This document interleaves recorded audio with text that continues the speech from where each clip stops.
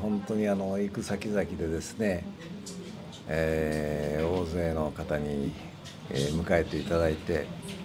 えー、細川コールまでしていただいてすごかったですねいや本当にあの今までの選挙の中でやっぱり一番そういう手応えっていうのはあったと思いますね。えー、今日大雪でしたけども、はい、あの雪の、はい、もうすごい寒い中にもかかわらず、はい、本当に大勢の人が、有楽町すき家橋も、それから新宿もたくさん集まってくださいましたね。ね皆さんね身動きされないんですよ。本当にじっとあのうんこうこちらを見ておられて。身動きされない。全然こうあの去っていく方もおられないし本当にびっくりしましたね。あの寒い中ですからもう本当足の先なんて霜焼けになりそうな感じなのに、うんね、2時間ぐらいずっと聞いてくださってるんですよね。うん、こんな雪の中であの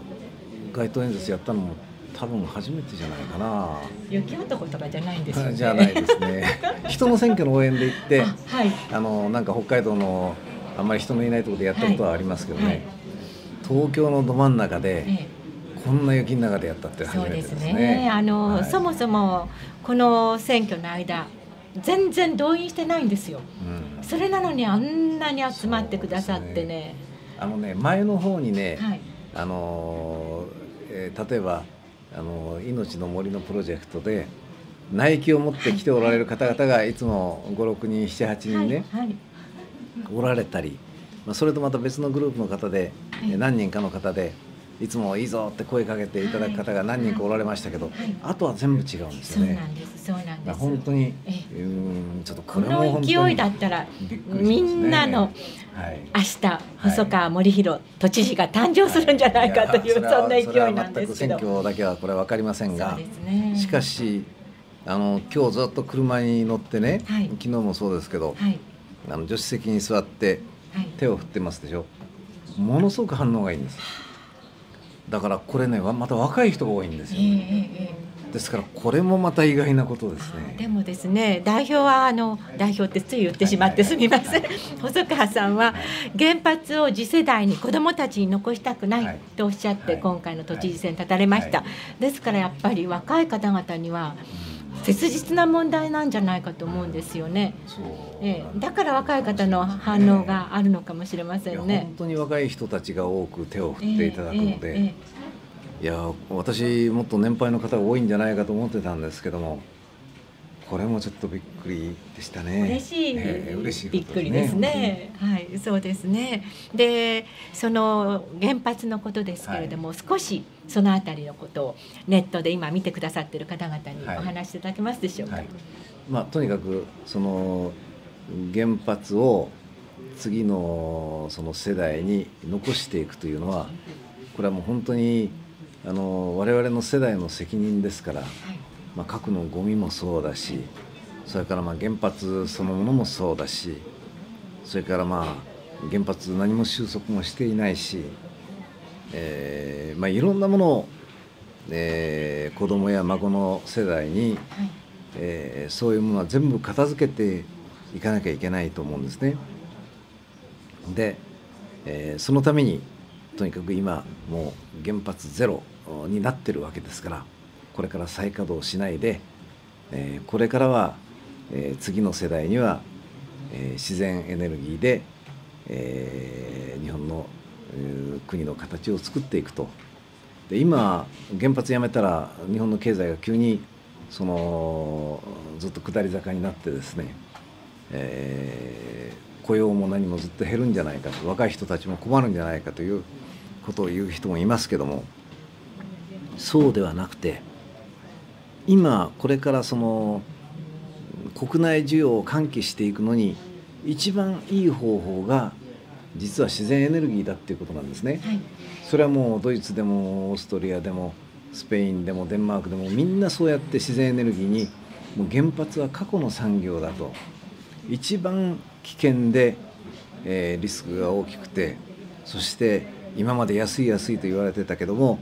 決してそんなことない一番途方もないその天文学的なお金を税金をつぎ込んできたものであるわけですね。ですからこれをなんとかここで出し切ってちょうど原発ゼロのいい機会ですからここから自然エネルギーに切り替えていくということをしたらもう日本で自然エネルギーに切り替えたいっていう企業はいくらでもあるわけです。みんなそれやりたくてしょうがない。だけどなんで今自然エネルギーが日本の場合こんなに遅れてるか。それは原子力村がもう圧力かけてですね企業が自然エネルギーに参入することを妨害してきたからですねだ本当にこれとんでもないことだと思うんですですからトップがそういう原発ゼロでいくと再稼働しない自然エネルギーでいくっていう方針をきちっと打ち出したらこれはも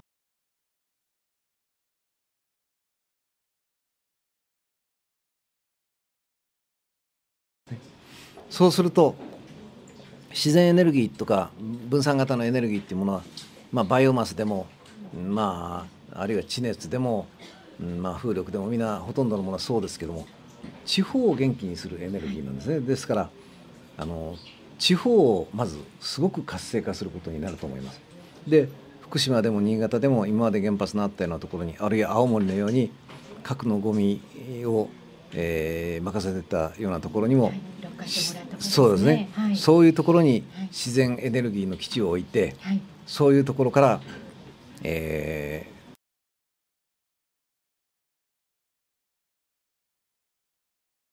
ー、活性化にもつながるし、えー、産業の活性化にもつながるし、雇用の、えー、増加にもつながるし、はい、お互いに東京とそういう地域ともウィンウィンの関係ができていくわけですね。えー、ですから地方が元気になっていくとこれはもう日本全体元気になりますから。ものすごくもう一石二鳥どころじゃないももっと大きな効果が出てくることだと思うんです。はい。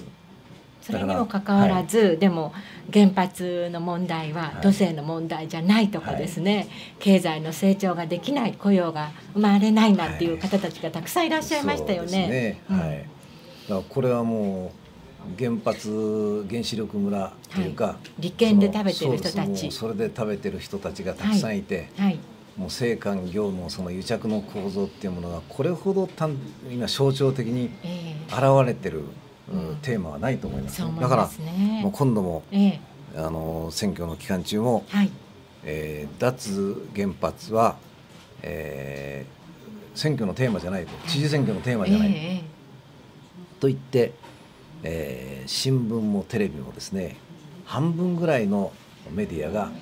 えー、そのことをその報じなかったわけですね。えー、報じても本当に小さなスペースでちょ ちょろっと報じただけ、はい、だからこれも本当に日本の民主主義はどうなってるのか、ね、日本の本当にマスコミっていうのは本当おかしいんじゃないかと思いますね。えーえー原子力村と一体どうつながってんのか。本当にそうです。マスコミは相当今回おかしい報道の仕方してましたよね。あの例えばこの日本っていうのはとても民主主義の国だとみんな思ってますから、はい。はい、まさかこんなに報道の規制があるようなことは誰も信じてないと思いますけど、今回本当に細川さんと小泉さんがもう原発ゼロを歌って必死で戦われて、もう国の存亡をかけて戦われているのにもかかわらず、はい、ほとんどのマスコミは報道してませんでしたものね。それで、えー、あの私何日か前テレビの番組に討論で出た時にも、えー、4人の候補者が並んで私に飛んできた質問たった10秒なんですね。はい、あとの3人の候補者には何のその脱原発の質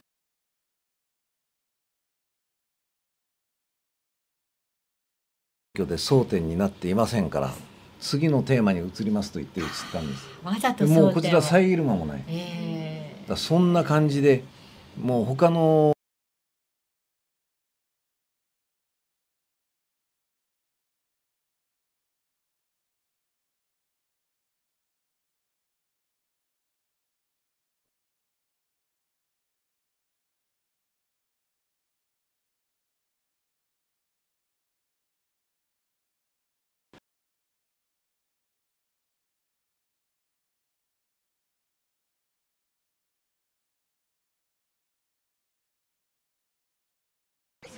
大丈夫ですか、い、やもう細川さんも小泉さんもそういうその原発村といいますかそういう誹謗中傷や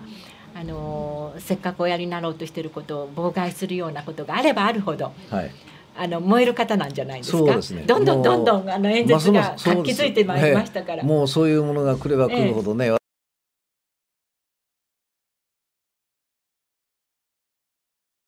ええ、よし戦うぞと、ええ、もうだんだん戦意高揚してきたんですよそそんな感じでした。もう二人、はいね、二人ともね、二人ともだんだん止まらなくなってきたんですよ。だからもう一時間二十分ぐらい二人でして15 分ずつぐらいにしてくれって言われたんだけど、なかなかそれで収まらなくて、やっぱり20分ずつぐらいしてたんじゃないかな最後まで。そうだと思います、はい、もうあの私はもう二十数年前から細川さん、さん、お殿様だっておっしゃいますけど実はそのね もうとにかく敵があの敵というとおかしいですけどもやり遂げなきゃいけないその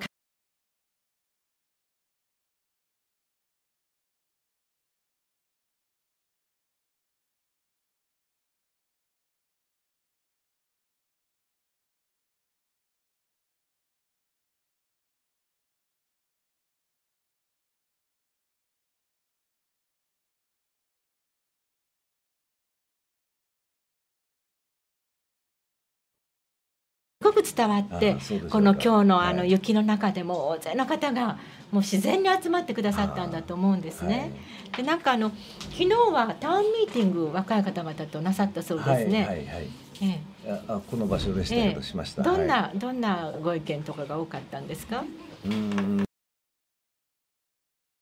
ミーティングも2回目ぐらいなんですけども、まあ若い方々いろいろ、はい、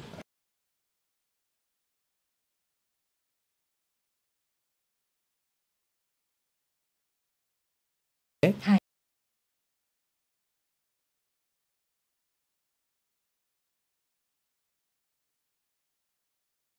あのまあ、政府で、えー、しばらく仕事をしてました、まあ、私の祖父は首相だったわけですけれども、はい、父もあの、まあ、今でいう内閣官房みたいなところにいて、はい、えー、総理の秘書官みたいなこともしてましたけどももう本当にいわゆる当時の特攻ですね。秘密警察にもうずっと監視されてその、まあ、平和にそのなんていうのか、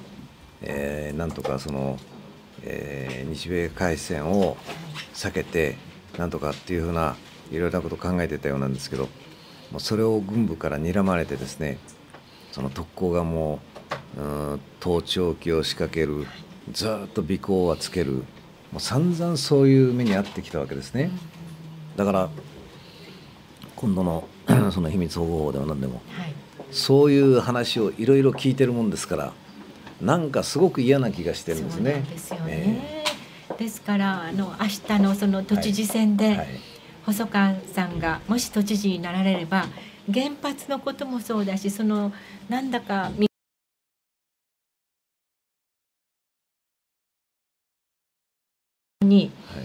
くさびを打ち込めるんじゃないかと、うん、そう期待している方はすごく多いと思うんですよ。まあ、ちょっとそれは選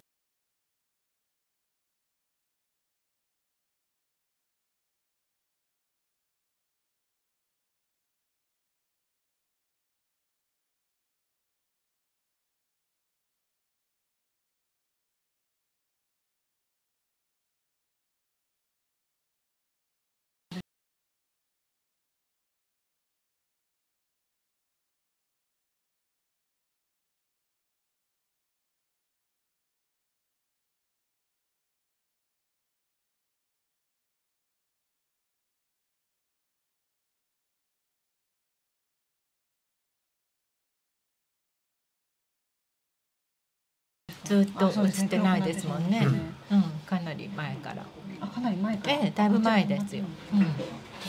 うん。だからおかしいのかなと思ってたんですけど。